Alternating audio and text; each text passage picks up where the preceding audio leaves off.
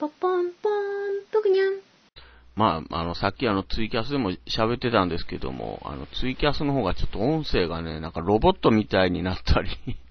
結構なんかまだ、あの、不安定なんでね、まあ今日の、今日のっていうかもう18日のね、いろいろ選挙があったということで、えー、まあやっぱりその注目がね、やっぱり、えー、松戸市議選、えー、いろんな方が出てはったということで、まあ、これは本当あの、えー、デリさん、えー、が当選されたということでね、これあの、ベンさんの中継を見てたんですけども、まあ、これすごいなと、前回よりも、えー、500票ぐらい、えー、上乗せしての2000票以上ですかね、えー、なんか取ってはったと思うんですけども、えー、やっぱりね、こう、ネットでのね、この、あの、活動とかね、なんかそういうのも大切なんちゃうかなっていうのは思いましたね。やっぱその、開票上の中継とか見ても、えー、中継してはる方もたくさんいてましたし、まあその開票場にもですね、えー、かなり多くの、10人ぐらい、えー、の、えあの、支援者というかね、そういう人たちがいてて、やっぱそういう熱さっていうのもね、すごく大切なんじゃないのかなというのは思いましたね。うん、このあの、えー、N 国ね、NHK のあの、立間さんとこも、えー、一人、あの、当選しはったということでね、うん、やっぱこれだとやっぱネットの活動っていうのがね、まあ、デイリーさんとかもそうですけども、えー、ネットでの応援してくれる人とかですね、そういうのもやっぱ馬鹿にできないと思いますね。えー、維新は2人落選した、えー、で国民民主も、えー、落選したと。やっぱり維新は、えー、やっぱ大阪限定かなという感じしかしないなっていうね。うん、やっぱり、維新が落ちて N 国が当選してるわけですからね、これ。本当に。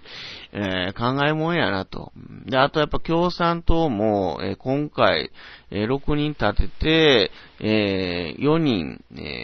当選と2人落選してるんですよね。これだからその、えー、前々回は6人ぐらいでしたっけ？で、それが前回5人、えー、デリさんと再開争いで、えー、共産党の方が1人落ちたっていうのがね、前回やったんです。もう今回は、え、デリさんはまあ2000秒以上取ってるんですけども、えー、こう、再開争いを共産党同士みたいなのがして、え、結構二人、え、落選してしまったという感じなんですかね。うん、やっぱこれもね、その、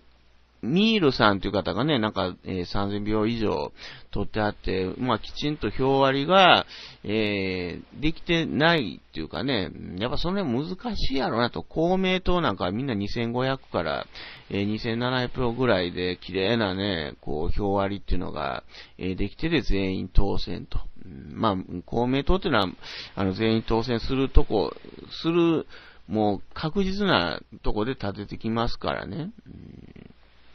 そういう意味でもね、やっぱ共産党も残念やなと、えー、思いましたけども、やっぱり、やっぱりね、だ今回の当選ラインっていうのは2000票ぐらいはやっぱりいるということなんでしょうね。だからそれできちんと、えー、票、えー、割りができるかとかですね、そういうとこも大切なんちゃうかなと。で、あと立憲民主は全員当選していると。えー、いうことでね、まあ、立憲民主はこれは、まあ、はじ、あの、弾みになるんじゃないのかなと。社民党も、えー、一人、えー、候補立ててて当選してるっていうね。いや、僕は、僕はやっぱ見てて思ったのはね、やっぱネットの活動っていうのも、僕はやっぱいると思いますね。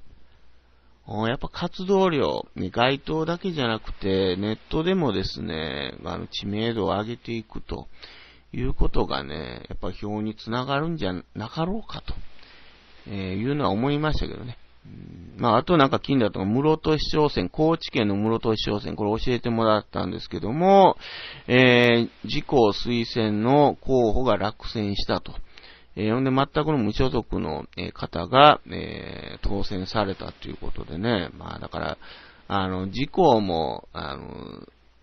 なんていうんですか、えー、安泰ではないっていうことですね。やっぱりこう、落ちるときは落ちるっていうね。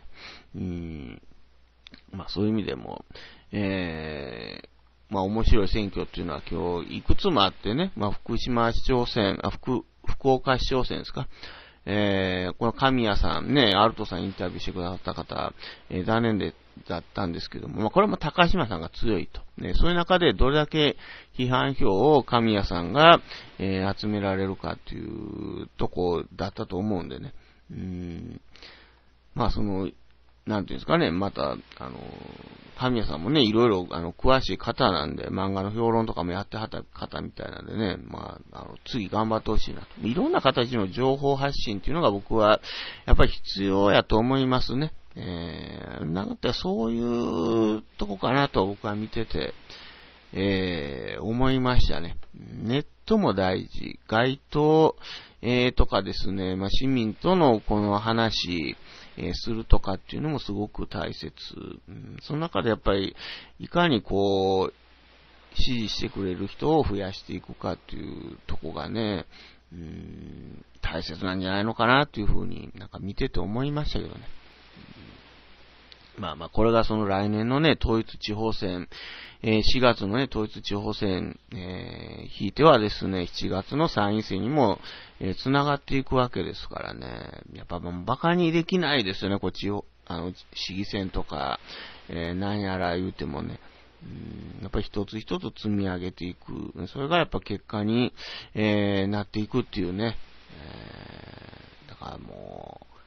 う、まあ選挙ってのは難しいなと。いうのは、ね、なんか見てて思いましたけどね。まあ、また今日はあの、えー、共産党のキラヨシコさんと、えー、アルトさんと一緒にお話も聞いたんでですね、またそれも、えー、アップしたら見てくださいということで、ありがとうございました。チャンネル登録よろしくね。